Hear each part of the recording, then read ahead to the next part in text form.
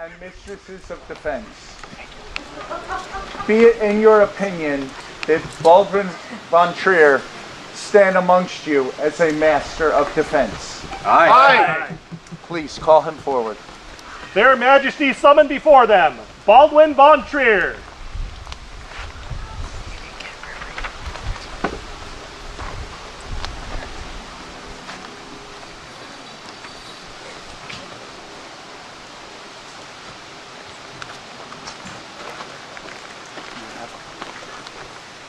I don't know how I expected anything other than lozenge on you today.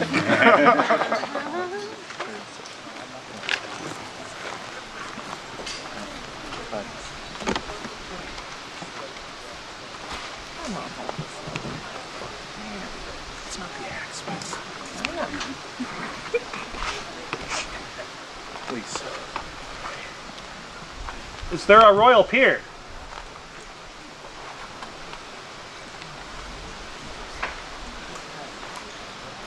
Yes, there's a royal beer. I'm sorry.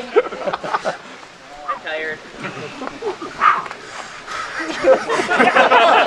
Way too tired. Were you ready? My apologies. Especially at the beginning here. I'm not Countess Gwen, but I play her in court.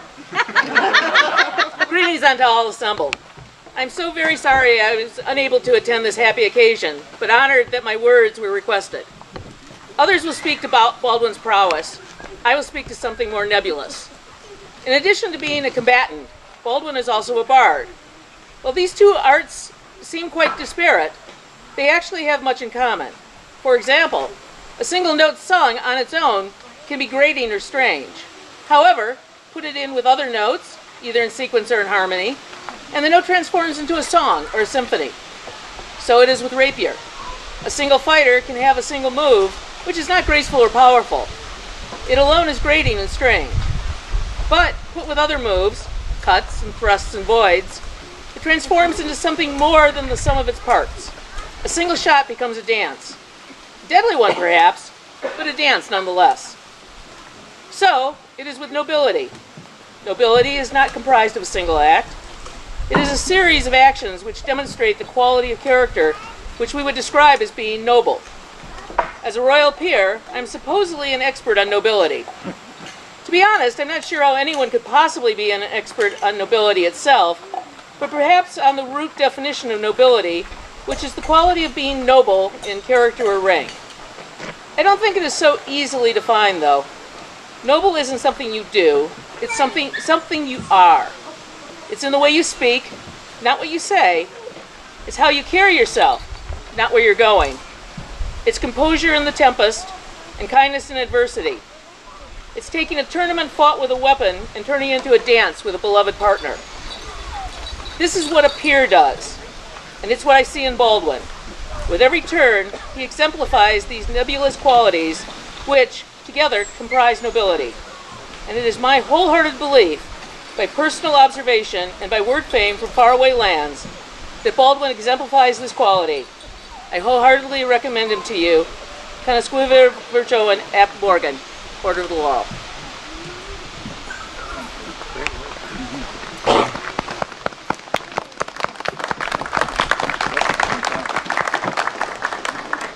Is there a member of the chivalry to attest to Baldwin's chivalry?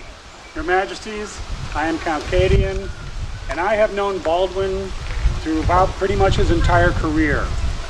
I was there when he authorized rapier, I was there when he authorized armored, and I have seen him not only become a man who is a master of the rapier, but also a master of the long sword, and is perhaps the premier cut and thrust fighter in our kingdom. He will represent Northshield on the field with great pride, Your Majesties. Thank you.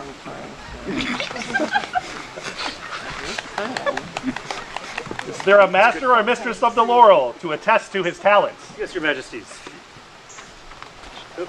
To speak of someone's uh, arts, in this case, is extremely easy. Baldwin, having done beautiful leather work in the past, still more notable, as has been mentioned, his bardic, where he has marched to, you know, the armies of Northshield into battle many times, and his exquisite work with steel. He has created roses of such ver- ver- such lifelike beauty that they have been given as prizes to many of the roses of the known world. And his art has decorated royal houses throughout many of your companion kingdoms. I am very happy to commend him as a laurel and as a peer. As his roses decorate our own home. Is there a master or mistress of the Pelican to attest to his service? Aye, there is. I am Mistress Isabella Beatrice de la Rosa, companion of the Order of the Pelican. Remarking on Baldwin's service is easy. One just needs to attend an event he is also attending, and you will easily see him helping in every capacity you could think of, from attending to rapier activities, to setting up and tearing down fort, to helping set up or tear down multiple encampments. Even today, during his own vigil, he served the rapier population by cleaning their blades as they gave him counsel. I've seen him serve at every event that we have mutually attended. What stands out the most to me, though, is the service I am certain he is unaware of. We attended a Gulf Wars where a massive storm went through during the scheduled royal court. We were packed in Sir Murdoch's merchant tent as this horrible storm raged outside. Court was paused so a number of our populace could help prevent another merchant's tent from collapsing. The rest of us were waiting in the tent, and several of us, including me, were becoming increasingly nervous and scared about our safety. His Majesty asked Baldwin to sing a song during the break, and the energy in the tent instantly switched from one of stress to calm enjoyment. Baldwin served his king, er, kingdom perfectly with just one song.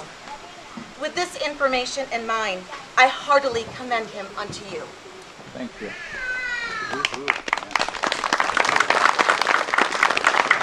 Is there a member of the populace to speak to his qualities? Aye, there is. Your Majesty. I am Baron Bassin de la Mesa, and I will speak of Baldwin. When I think of the fighting peerages, of course, I think of the fight. I have watched and I faced this man in more than a few tournaments, as well as stood at his shoulder as we defended our kingdom together in multiple wars. His prowess is of no question. There are the finer things. There is grace. There is intelligence. There is the ability to do both lead and teach. Difficult qualities. I have watched this man grow up and do amazing work in all of these. In very short,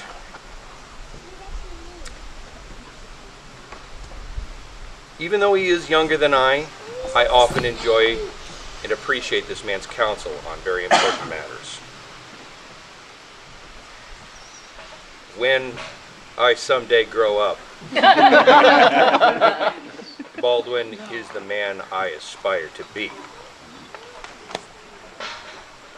And in this, I commend him unto you.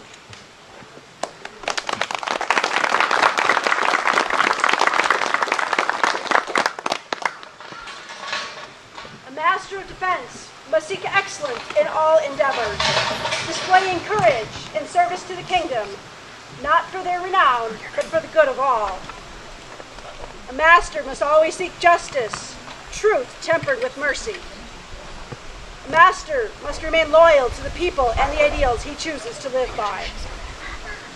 A master must always defend their kingdom, their family, and those who depend upon them. A master must have the courage to sacrifice for the precepts and people they value. A master must have faith in their beliefs while never diminishing the beliefs of another. A master values the contributions of others, according to them, renown rightfully earned. A master must be generous as far as the resources allow. A master recognizes that true nobility arises from the journey, not the destination.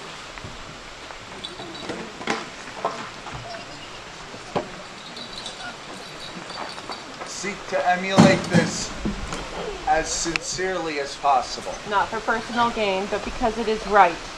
Do not restrict your exploration to a small world. But seek to infuse every aspect of your life with these qualities. Should you succeed in even a tiny measure, Then you will be well remembered for your quality and virtue. knowing all this, do you desire to elevation into this order? I do, your majesties. Will you pledge and continue to uphold the honor of this order? I will. Will you increase your labors and talents nobly as befits one of your rank, and seek to extend your talents and abilities throughout the society? I will. Will you teach and assist any dependents you may have I will. you have served?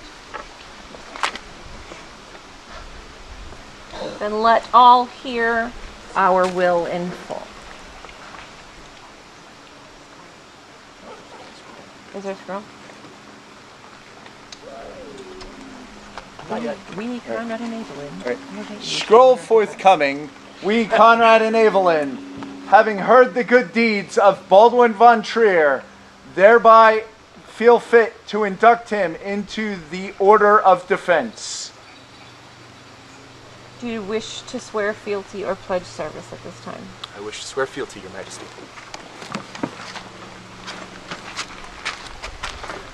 I here swear fealty and do homage to the crown of Northshield, to ever serve the kingdom by word and sword, defender of the weak, proven in battle, tempered by mercy, generous with my knowledge and abilities, an example of courtesy, skill, and grace, guiding the people of Northshield with integrity and charity. Here, by my honor and my sword, swear I, Baldwin von Trier. We accept your gifts of service and leadership And will rely on you to advise us wisely. as you light the way for Northshield with honor and charity, We will act towards you respectively in all things. protecting you with our aid and rewarding you with our love. But may all strength fail and the world turn against any who would break your solemn oath.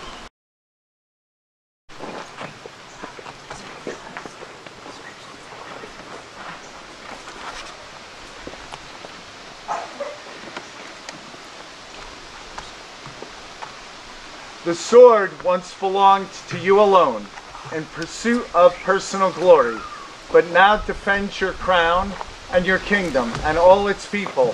We return it to you sheathed in a hanger of your order.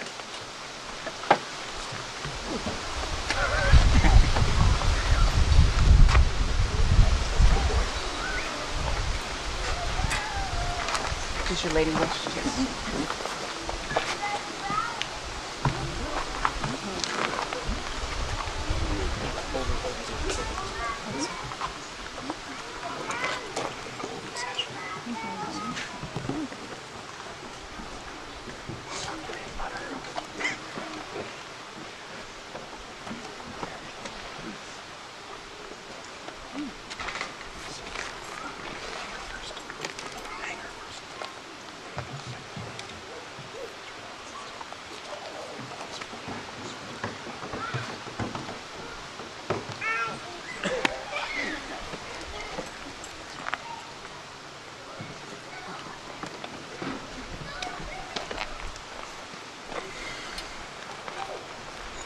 Is there a cloak? There is your majesties. Your actions have reflected upon reflected your fame and, or infamy. From this point on, you will wear the same cloak as your brothers and sisters of the order, and your actions, good or ill, will reflect on them. Is there a collar? There is your majesty. Throughout history, great and noble orders have been signified by the collars they wear, so that their members may have perpetual memory of the vows they take and may be recognized as members of their order and be seen to represent the ideals they aspire to. The Masters of Defense display their symbol on a white collar, which symbolizes purity of spirit with which we share our talents to all who seek guidance.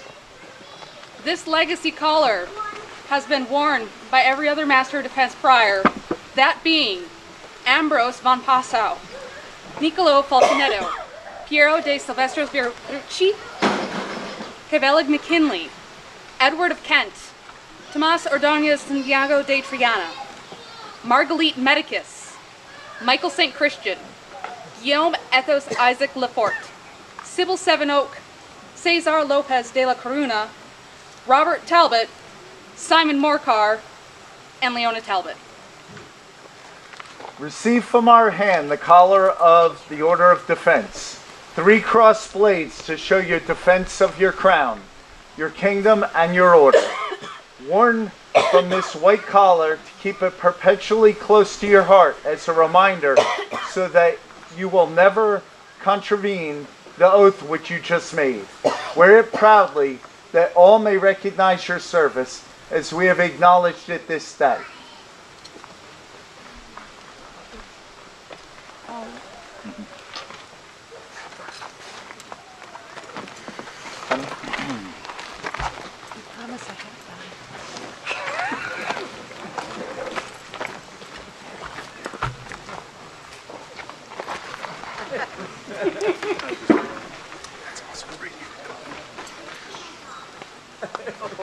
Is he too tall? You want him down a little?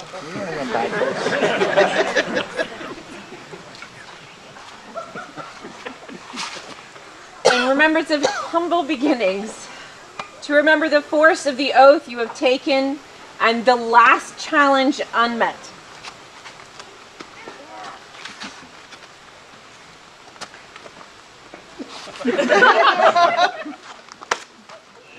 Good.